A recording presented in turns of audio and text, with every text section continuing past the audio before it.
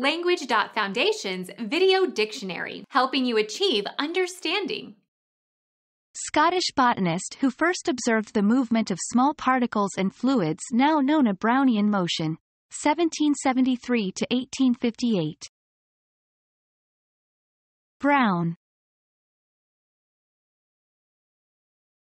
Become our student and get access to effective and free educational materials.